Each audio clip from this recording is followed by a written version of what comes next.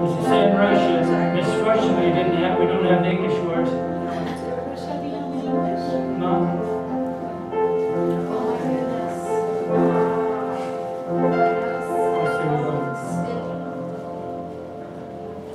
Yeah, have to help me, sir. I'm a little slow, people. Okay, so we're can going, tell you while they're working on that, our Shabbat group has mastered Odula Adonai. We're used to saying, not singing, now we've got a song we'll put with it. Because uh, they- they're great, and sometime you'll have to hear Tony in his Filipino accent say. It. I remember this Israeli young man was, went to an island in the Pacific Ocean, and these group of people, I don't know what country they were from, it's some island country, they were singing a song like this in Hebrew.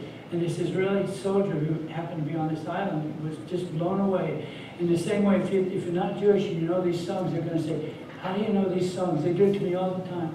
They're, they're amazed. They think I'm so wonderful. I'm not, but they think I am because I know I Jewish, some Jewish songs.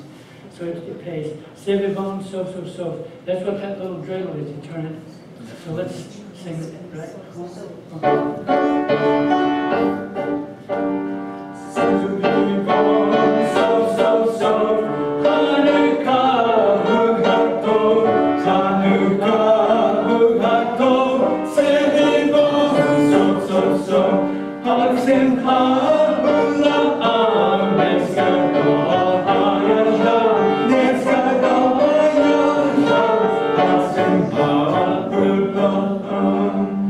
Thank you. It's beautiful. Turn, turn, Hanukkah, to the little dreidel, spurns and spins. I'm gonna.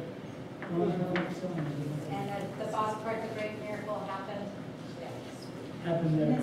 And actually in Israel, when we lived, we lived in Israel six years, and these kids, my kids grew up speaking Hebrew like Israelis, they still do. She, her Hebrew is beautiful.